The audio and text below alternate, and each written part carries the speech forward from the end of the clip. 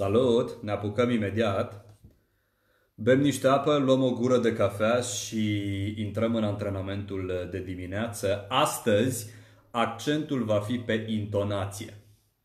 Lucrăm la modul în care ne, ne rostim ideile, frazele, cuvintele și felul în care putem să dăm expresivitate mesajului nostru. Am să vă împărtășesc mai exact uh, trei uh, metode simple prin care să dăm un pic mai multă savoare ideilor pe care le rostim. Pentru asta am pregătit un pasaj din uh, povestea lui Harap Alb. Vom citi astăzi din Harap Alb. E un exercițiu un pic diferit Ehm, și eu, și eu am emoții astăzi cu el pentru că sunt obișnuit să-l fac uh, unul la unul cu cursanții. Ehm, sunt obișnuit să ascult în timp real, uh, să dau feedback, dar uh, cred că ne vom descurca. Am să vă copiez în curând ehm, sub formă de comentariu o bucățică din textul Harap Alb și vom citi ca să ne reglăm intonația. Înainte să trecem la treabă, vă rog să-mi confirmați că totul este ok. Mai stăm 10 secunde, 20 ca să ne ca să ne pregătim, am să beau și eu niște apă, niște cafea, după care intrăm direct în subiect. Astăzi, așadar, lucrăm intonație, cum să scăpăm de liniaritate, cum să evităm discursul monoton și să avem un speech cu variații, indiferent că vorbim în public sau unul la unul, conversație offline, telefonic, Skype call și așa mai departe. Bună dimineața, Ioana, primesc și confirmarea că totul se aude. Bună dimineața și ție, Monica. Ne apucăm de treabă imediat. Bună dimineața, Carmen. Reiau regula simplă. Bei cafea, stinge-o cu apă. Pentru că mm, este foarte bună cafeaua, mie îmi place la nebunie să beau cafea dimineața Efectul ei secundar este acela că deshidratează. Motiv pentru care, dacă o bem, este important să compensăm cu o cantitate suficient de mare de apă care să compenseze deshidratarea și să ne aducă în parametri optimi, pentru că avem nevoie de o voce hidratată, o voce oxigenată ca să putem lucra cu ea. De ce o poveste de copii pentru intonație? Am observat în relația cu mulți dintre cursanții mei, în mod deosebit la doamne, doamnele care au copii mici, am observat că au o intonație foarte bună, multe dintre ele.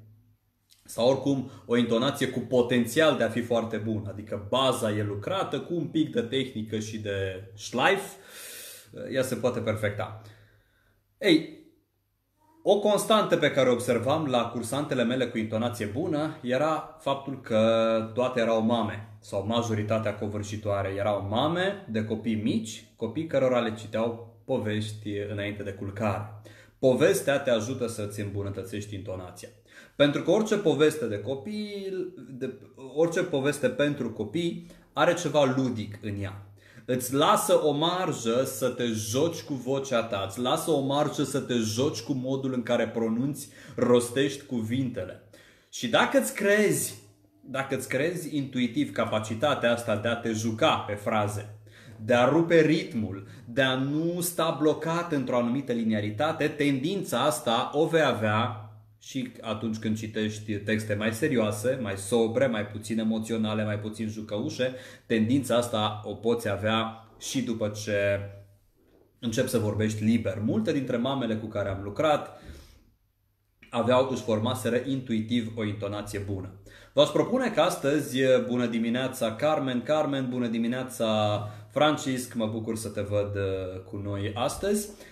Foarte mulți um, Vorbim, vorbim, despre, vorbim despre intonație, vom citi astăzi din Harap Alb. Începusem cu ideea că multe mame își formează intuitiv intonația. Astăzi vă, vă propun să mergem mai departe de intuiție și să vedem rațional, tehnic, ce avem noi de făcut concret astfel încât uh, felul în care vorbim să aibă varietate și să nu fie plictisitor. Vom uh, discuta trei reguli care stau în spatele unei intonații de calitate. Și vom discuta asta direct pe textul pe care am să vi-l copiez. Dar până să ne apucăm de treabă, pentru că vorba multă sărăcie a omului, bună dimineața și ție Valentin, Până să ne apucăm de treabă, haideți să facem o scurtă tură de încălzire strict pentru activarea mușchii feței, pentru că așa e la voce, lucrurile se leagă, depind. Discutăm de factori, despre factori care depind unul de celălalt. Vrei să ai o intonație bună, ai nevoie și de o dicție corespunzătoare, pentru că dacă mulți fete nu sunt bine antrenați și tu deschizi gura pe jumătate, de aici să faci variații retorice e un pic mai complicat. În vreme ce dacă ai dicția antrenată, intonația se îmbunătățește, se îmbunătățește intonația, știi ce să faci cu înălțimea vocii tale, brusc, nu brusc, dar începi să ai un control bun și asupra, uh, asupra vocii, pe ansamblu. Lucrurile se leagă, avem nevoie de câte avem nevoie de toate elementele astea îmbinate, așadar uh, ne încălzim un pic cu exerciții de dicție și în paralel vă pregătesc textul pe care îl vom citi împreună. Haideți să facem tradiționala serie de XU, doar ca să deblocăm mușchii feței, rostim X până la capăt, U, X, U, X, U, X, U. Facem o serie de 10, exagerăm cât putem de tare mușchii feței, dezvelim ambele arcade ale dinților, și dinții de sus și dinții de jos.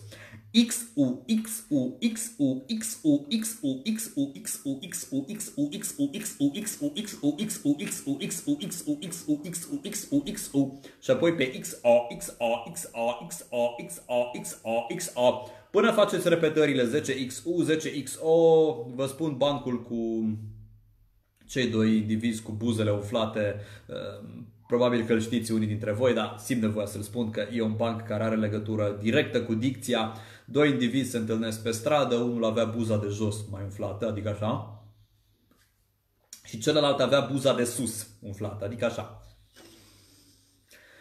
Ăștia se întâlnesc și la un moment dat începe ploaia. Picură, picură, picură, picură și ăsta cu buza de jos umflată zice Bă, ție nu-ți plouă în gură? la care cel cu buza de sus. Numai când trec mașinile. Ei, unde vreau să ajung cu bancul ăsta? XUXO ne ajută să dispunem în mod simetric mușchii faciali, să, să ne creăm mobilitate facială mai mare. Așadar, XUXO, XUXO, XUXO, XUXO. Facem rapid, bună dimineața și ție, Iacob, facem foarte, foarte repede un uh, exercițiu de corectat diftongul OA, asta pentru prietenii mei din Ardeal, dar și pentru cei din celelalte regiuni ale țării, pentru că în general OA este un diftong greu de pronunțat. Licoare, vigoare, picioare. Cunoaștem exercițiul, rostim odată O cât putem de larg și de expresiv, împingem buzele în față, O și apoi A. Hai să vedem. O, a, o, a, o, a, o, a, o, a, o, a, o, a. Nu vă temeți de nicio exagerare. E normal să exagerezi mișcarea feței în acest exercițiu pentru că asta dă mobilitate mai mare. Nu rămâneți strâmbați, vă promit, nu o să rămâneți cu gura într-o parte pe viață și o să spuneți am fost la un live cu Andrei Țigănaci și mă pus să fac un exercițiu și din cauza lui ăsta nenorocit în ce hal m-a adus. Deci nu este cazul, faceți cu încredere, mișcăm cât putem de mult mușchii feței. Hai să vedem.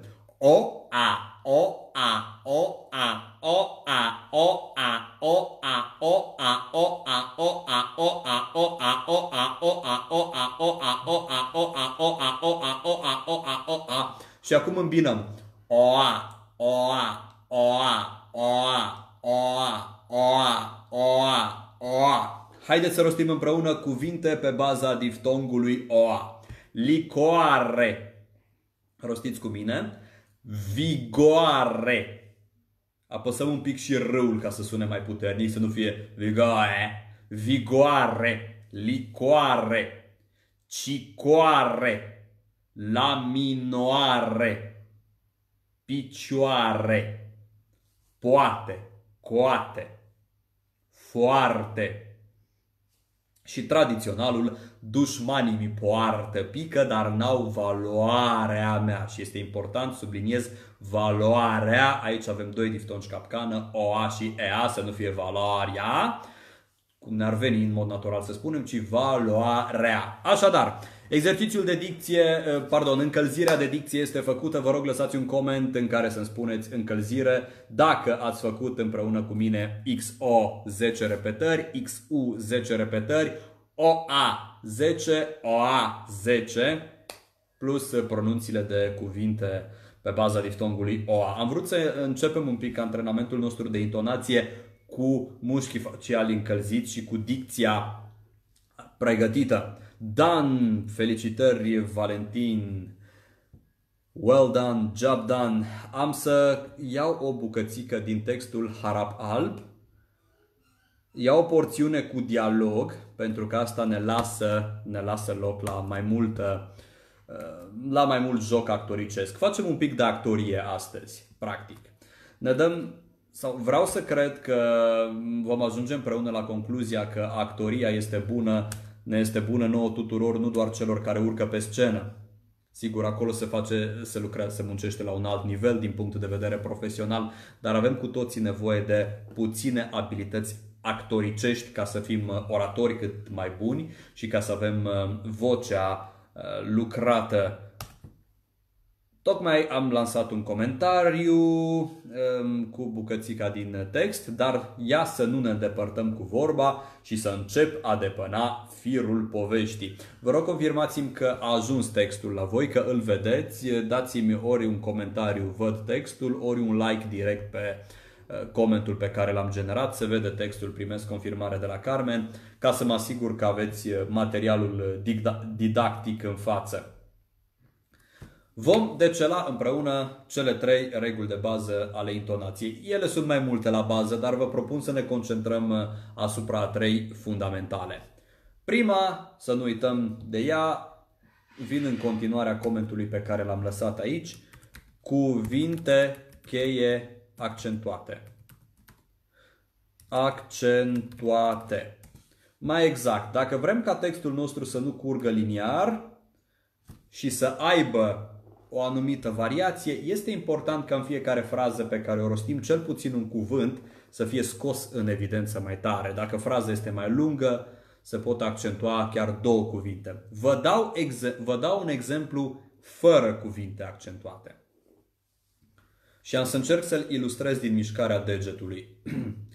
Dar ia să nu ne depărtăm cu vorba și să începă a defăna firul poveștii. Amucii că împăratul acela aproape de bătrânețe căzând la zăcare a scris către frăține socraiului să-i trimită grabnic pe cel mai vrednic dintre nepoți. Noi așa am fost învățați să citim încă din clasele 1-4 când aveam textul în manual și urmăream cu degetul și ne asiguram că rostim fiecare cuvânt, dar nu, și, nu îl interpretam.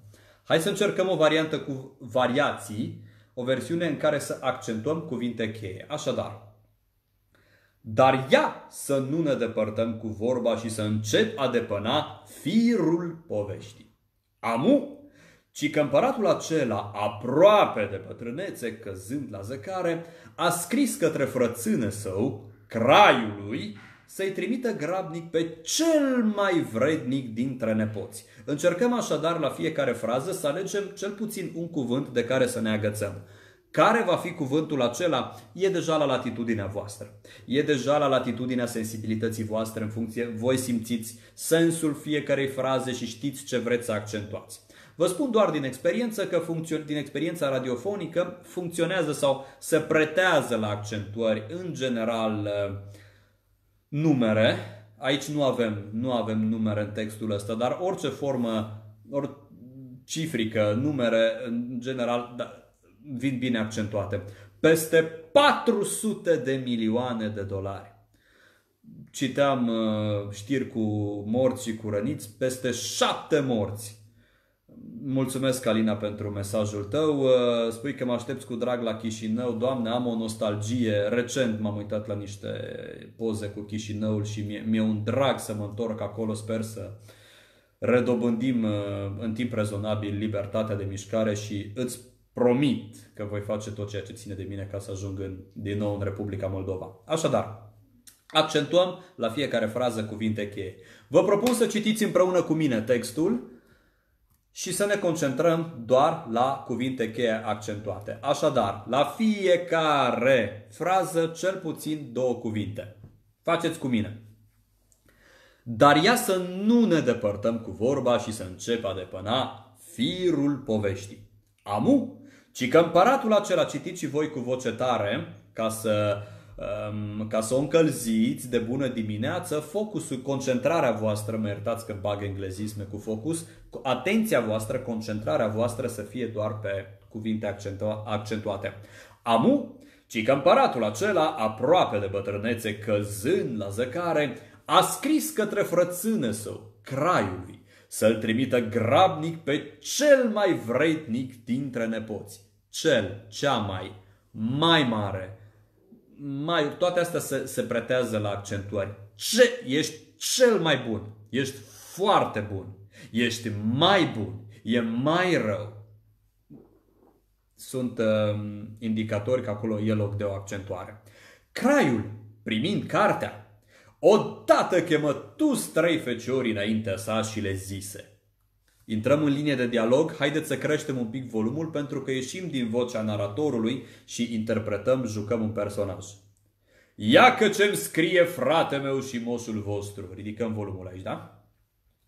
Care dintre voi se simte destoinic a împărăți peste o țară așa de mare și bogată ca aceea, are voie din partea mea să se ducă ca să împlinească voința cea mai de urmă, de pe urmă a moșului vostru. Revenim la, revenim la vocea naratorului, scădem volumul. Atunci feciorul cel mai mare ia îndrăzneală și zise, zice, crește în volum. Tată, eu cred că mie mi se cuvine această cinste, pentru că sunt cel mai mare dintre frați. De aceea te rog să-mi dai bani de cheltuială, straie de primenială, primeneală, arme și cai de călărie, ca să și pornesc fără zăbavă. Altă linie de dialog, încercăm să variem, să interpretăm alt personaj. Bine, dragul tatei, dacă te bizuiești, dacă te bizuiești că ai putea răzbate până acolo și crezi că ești în stare a cărmui și pe alții, Alegeți un cal de hergelie care-i vrea tu. Ia-ți banii cât ți-or trebui, haine care ți-or plăcea, arme care-i crede că-ți vin la socoteală și mergi cu bine, fătul meu. Așadar, în lectura asta încercăm să prioritizăm cuvintele cheie accentuate. Să ne creăm reflexul ca din când în când anumite cuvinte să aibă o mai mare energie pentru că asta ne ajută să spargem monotonie și uh, liniaritate. Foarte, foarte mulți cursanți uh, vin în general uh, în întâlniri, sesiuni 1 la 1 sau în cursuri cu simptomatologia asta. Îmi spun, domnule, vorbesc în fața, nu neapărat în public, nu, nu știu ce prezentări, am de luat cuvântul la o ședință și îi văd că nu sunt atenți la mine. Îi văd că se uită în tavan, în pereți. Intonația poate fi una dintre cauze, nu singura. Normal, contează și ce spui și cum îți structurezi mesajul și câtă interacțiune produci, dar intonația este unul dintre indicatorii care ne ajută să dăm mai multă forță discursului nostru. Acum, în continuarea textului, las aici regula numărul 2, pauze retorice.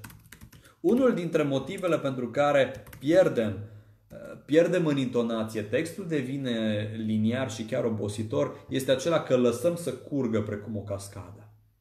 Din nou, am fost învățat să citim foarte liniar și, și, și tendința asta ni se transformă și în, și în vorbitul liber. E taca taca taca taca taca taca taca taca taca taca taca taca taca taca. Când citim e taca taca taca taca taca taca taca. Când vorbim, de obicei mergem la discursuri cu texte învățate pe din afară și și vezi, vânzătorul MLM al nu știu cărui produs cum îți turuie omul de vânzări de la banca X care nici aer, eu le mai spun când mă sună diversi agenți de vânzări, respiră un pic să te pot asculta. Bună ziua, domnule Andrei, care ați sunt de la banca Tradiționalul, feriți linia 4, trenul accelerat cu direcția. Avem o tendință de a, de a intra, de a ne cufunda atât de tare în fluxul a ceea ce spunem, încât efectiv turuim. Așadar, este important că atunci când vorbim, indiferent de context, de situație, că e public, că e unul la unul, să lăsăm pauze retorice. Haideți să citim o bucată cu pauze retorice. Vă rog în paralel, dacă se poate, să-mi lăsați un coment în care să-mi confirmați că ați citit harapul, adică bucățica de text din harap cu cuvinte cheie accentuate. Aș vrea să lucrăm împreună. Mi-e, mi-e ciudă de mor acum că nu vă pot asculta pentru că aș, aș putea interveni la fiecare cu reglaje fine. Dar uh, mizez pe feedback-ul vostru scris, spuneți-mi uh, că ați citit, cei care vreți să împărtășiți cum a fost experiența, dacă v-a ieșit, uh, dacă v-a ieșit sau nu și așa mai departe. O secundă, că mi-a intrat un pop-up în față care mă încurcă și nu mă lasă să-mi văd de live-ul meu. Bun, um, haideți să facem acum varianta a doua cu pauze retorice. Citim și lăsăm, lăsăm mici, uh, uh, mici pauze. Scopul exercițiului este să ne obișnim să ne fracționăm mesajul și să nu îl mai turuim. Nu citim tot textul, doar primele două paragrafe. Dar ia să, când introduc o pauză, încerc să o marchez din deget. Am să ridic așa un pic din mână ca să punctez și vizual chestia asta. Dar ia să nu ne depărtăm cu vorba și să încep a depăna firul poveștii. Amu, ci că împăratul acela, aproape de bătrânețe căzând la zăcare, a scris către frățână său craiului să-i trimită grabnic pe cel mai vrednic dintre nepoți. Ca să-l lase împărat în locul său după moartea sa. Craiul, primind cartea, îndată chemă tu trei feciorii înaintea sa și le zise – din nou, încercați și voi să faceți o, să, să faceți o lectură cu pauze. Probabil că mă, unii dintre voi mă veți întreba, bine, bine, dar unde bag pauzele astea? Ca să aibă și ele o noimă, că bun, întrerup așa textul aiurea. Nici aici nu există, uh, nici, nici aici nu există o regulă bătută în cuie, dar cu precădere, acolo unde vedeți virgule, profitați de ele, de exemplu, amuci că împăratul acela e o virgulă acolo. Foarte bine, ne odihnim. Aproape de bătrânețe, mai e o virgulă, ne mai putem odihni. Adică e în beneficiul nostru să luăm o pauză și pentru că inspirăm în abdomen. Deci unde vedeți virgulă în text și acolo unde urmează să accentuați un cuvânt cheie. Luați-vă energie. De exemplu, iau textul cu amuci că împăratul acela aproape de bătrânețe și fac o accentuare de cuvânt cheie.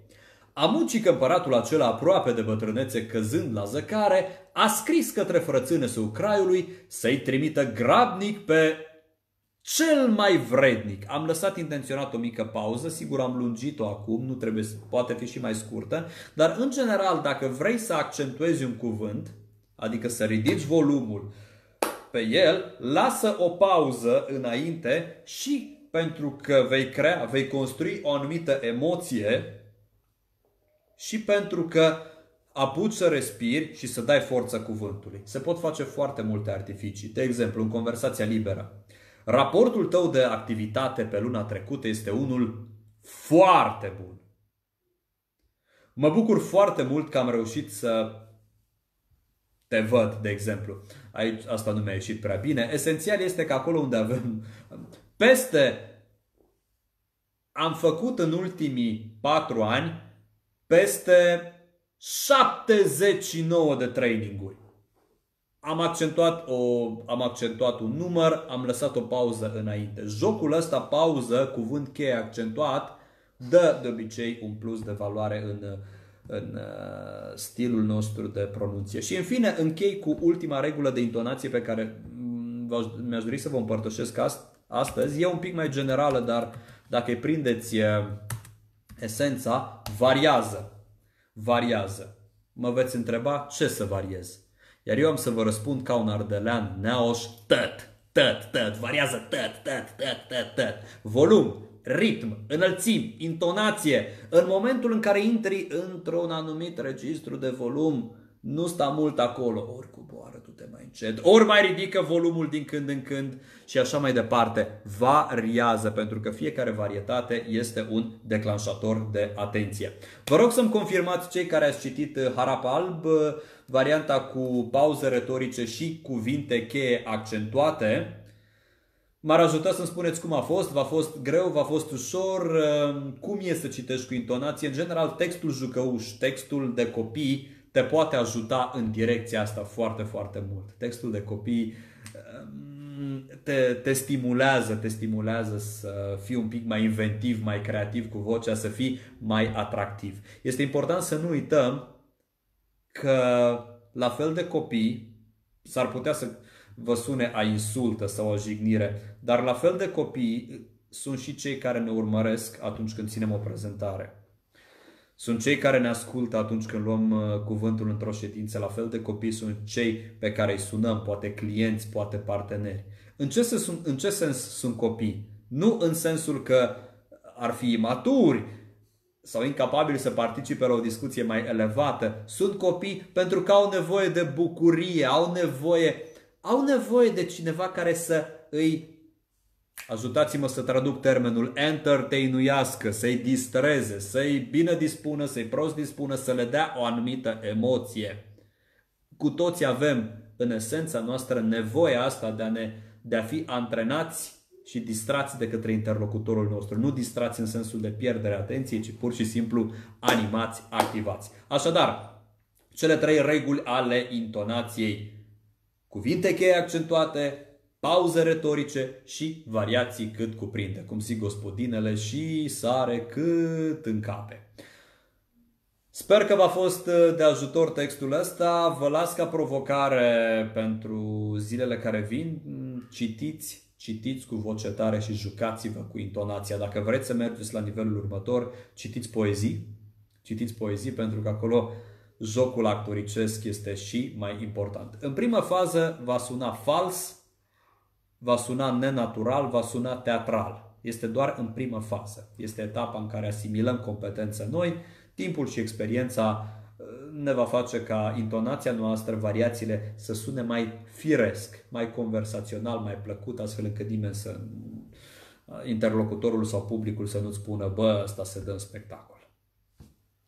Spectacolul de astăzi a luat sfârșit, vă doresc o zi minunată. Nu, nu uitați că la ora 17 ne vedem din nou live cu Lucian Ioniță, autorul uh, platformei Pacientul 2.0. Vom purta o discuție relaxată despre cum vorbim cu medicii, cu sistemul medical, cum comunicăm cu ei în această perioadă atât de încurcată. Vă mulțumesc și să aveți o zi minunată!